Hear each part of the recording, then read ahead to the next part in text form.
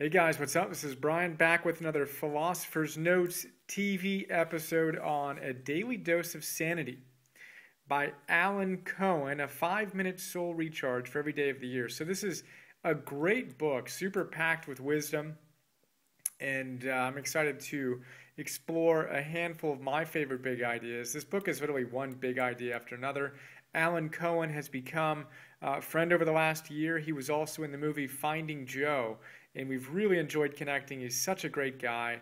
And this is like the third note I think I did on him. I've got another one in the works on his newest book called Enough Already. But I really recommend you check out Alan Cohen at alancohen.com if you're feeling it. And uh, let's have some fun looking at a few of my favorite big ideas right now. So, again, Philosopher's Note, we've got a bunch of them, a bunch of ideas. But let's look at a few. We're going to look at being in integrity replicating yourself rather than trying to be someone else, firing your inner critic and hiring your inner fan club, and uh, mastering love, and then the Harry Potter trick of uh, what is it called? Spell of ridiculous. It's the way to handle Boggarts in your life. Uh, but for now, we'll start with being in integrity. So, Alan tells us I have a very simple definition of integrity. You are in integrity when what you are doing on the outside matches who you are on the inside. He goes on to say that he respects people who live unapologetically. He may not just, he may not agree with everything they uh, stand for, but he honors them for being 100% who they are. So, integrity. It's one of my favorite words, and I like to think of it the same way Alan does, which is our outer world and our inner world align. There's no separation between the two. We're in integrity. There's a straight line harmony between who we are what we say is important to us and how we show up in the world. That's very different than being in disintegrity or disintegrating, where there really isn't integrity. Everything is kind of just here or there. We change depending on the mood and the context and stuff like that. We're out of integrity. We're disintegrating versus being in integrity. This is huge. So check in. Are you in integrity or are you disintegrating? If you feel icky, it's probably because you're out of integrity. So move into more integrity. Be more authentically you, and you're going to experience more radiance and aliveness. Um, Alan goes on to, to talk about uh, the fact that the secret of success is to be total. It's a big idea. Be total. If you are going to do something, really do it. Do not second guess yourself. Let guilt undermine your joy or wonder if you should be somewhere else. Either do it with a whole heart or do not do it at all. Be total. It's a big idea we talk about a lot in these notes. I go off on an Osho thought we don't have time to go into right now. But uh, be total. Do it or don't do it. There's no in between. Uh, there you go. All right, the next one is kind of funny. We're going to go real quick. But the idea here is blink. I go off on it in the note.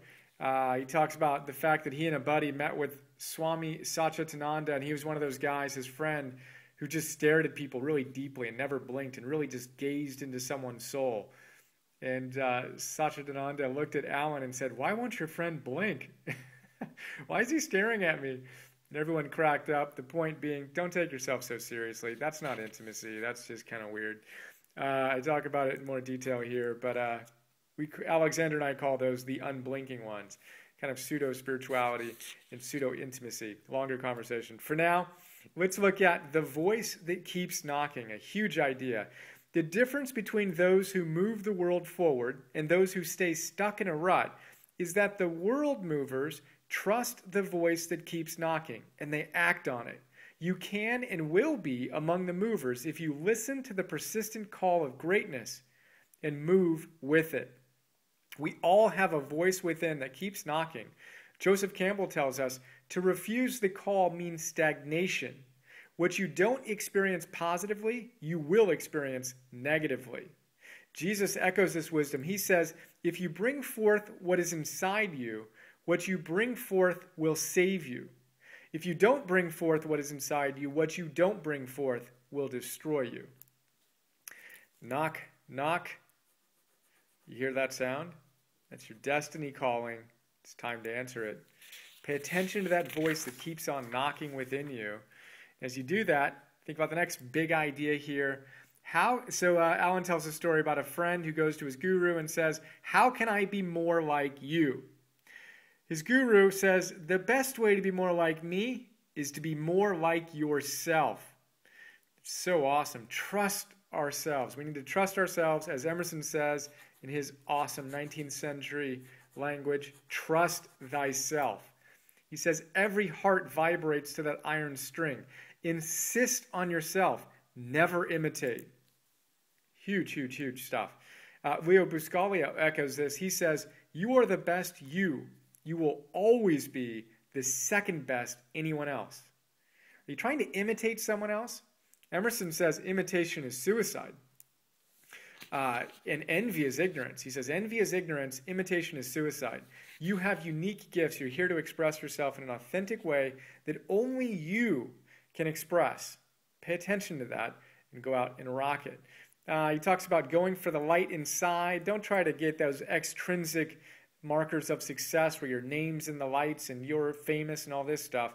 Uh, he says, Those who live to see their name in lights usually miss the light within themselves. So focus on turning on the light within yourself uh, more than trying to get everyone else to pay attention to you and have your name in lights. Big idea we talk about more in the note.